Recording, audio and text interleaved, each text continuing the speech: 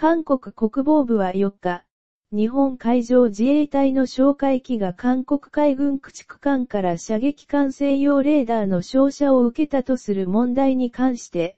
日本側の主張に反論する映像を公開した。チェヒョンス報道官はこの日午後の定例会見で、日本はこれ以上、事実を歪曲する行為をやめ、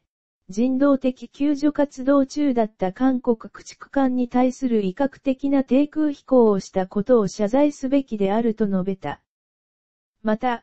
今回の公開は日本が一方的に日本語、英語の映像を公開し、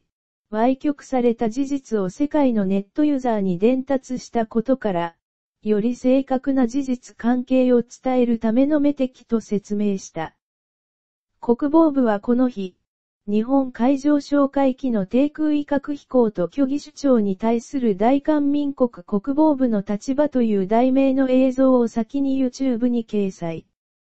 その後、英文など各国の言語で翻訳された映像も公開する方針だ。